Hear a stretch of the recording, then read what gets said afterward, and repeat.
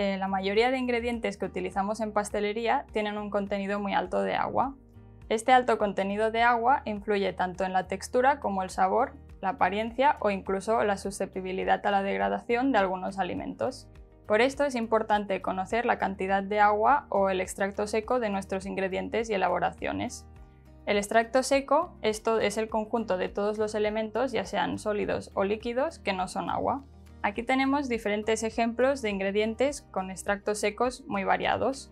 Por ejemplo, las frutas van desde un 75% de agua, como es el caso del plátano, hasta un 95%, como es el caso de la sandía. Aquí tenemos, por ejemplo, unos albaricoques que tienen un 86% de agua, lo que es equivalente a un 14% de extracto seco. Por otro lado, los frutos secos eh, se considera que tienen un extracto seco a partir de 50%, como es las castañas. Aquí tenemos también unas avellanas que tienen un extracto seco del 95%. Después también tenemos ingredientes como la mantequilla, que aunque no lo parezca, tiene un contenido de agua de un 15%.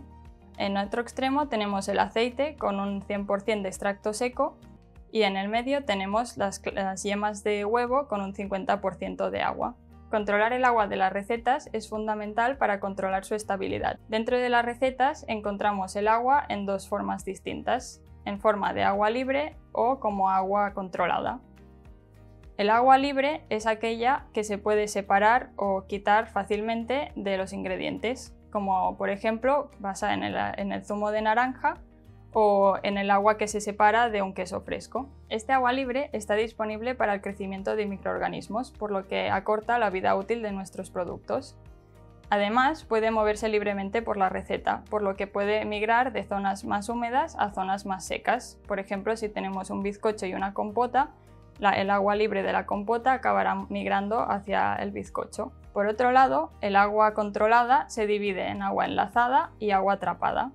El agua enlazada es aquella que está interaccionando o formando enlaces con otras moléculas polares como el azúcar o las proteínas. Algunas veces se llama también agua de hidratación.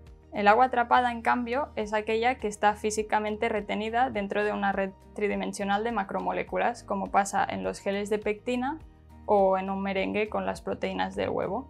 Ni el agua atrapada ni el agua enlazada pueden actuar como solventes ni están disponibles para el crecimiento de microorganismos ya sea porque están formando otros enlaces con otras moléculas, como en el caso del agua enlazada, o porque están físicamente separados de los ingredientes, como sucede con el agua atrapada. Además, este tipo de agua tiene una movilidad mucho más reducida, por lo que la tenemos más controlada.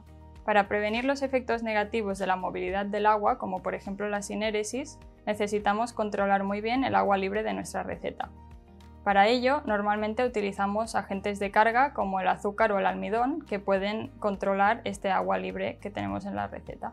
El parámetro más importante que tenemos que tener en cuenta cuando formulamos una receta es la proporción entre extracto seco y agua libre de nuestra elaboración.